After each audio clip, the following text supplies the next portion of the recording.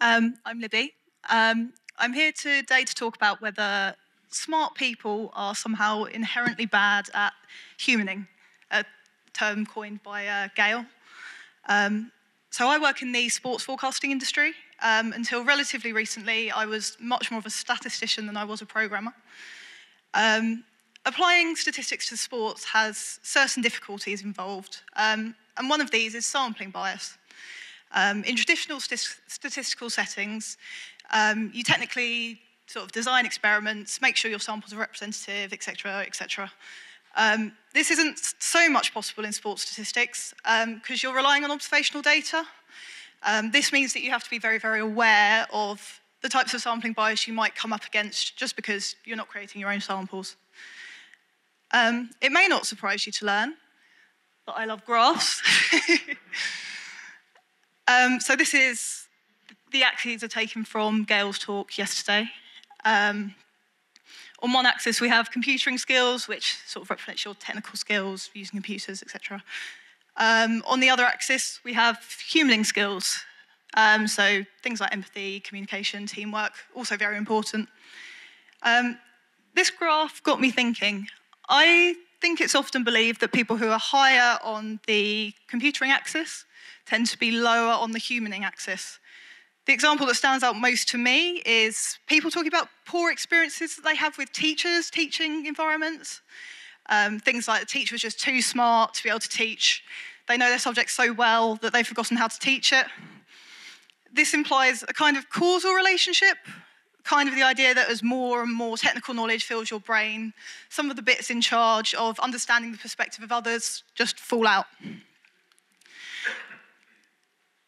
If this were true, you'd kind of have a trend that looks a bit like this.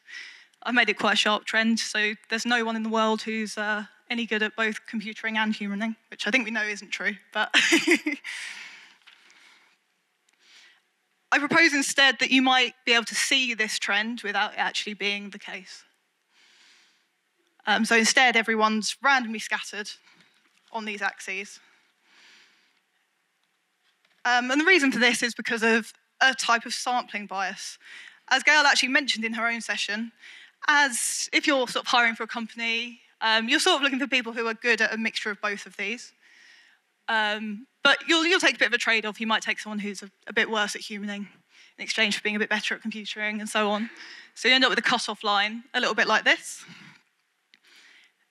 Um, so if you say work, you're, you're above this line.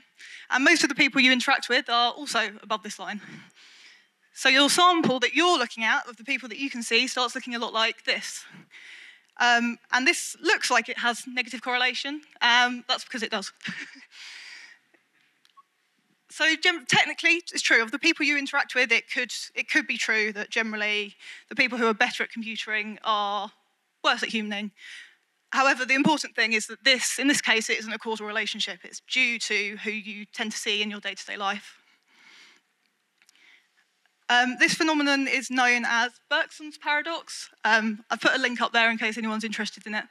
Um, it also explains some other interesting observations, like why good books seem to make bad movies. Um, and I think the, the thing here is, why is this important? Why is this relevant? Um, I think, for one, if this is a causal relationship, it's quite a sad situation. I'm quite afraid of public speaking. I'd put that on the humaning scale. As I'm standing here getting better, hopefully, at public speaking, everything I've, I've learned about C++ in my uh, brief time as a programmer is slowly disappearing from my brain. Although I will say, if yesterday's panel on the future of the language is to be believed, that might not be a bad thing. in addition, if we believe that this relationship is causal, this will affect our behavior what sort of skills we might choose to develop, um, where we might focus our time. I think it's important to know that we can do both. It's not an either or. Thank you for listening.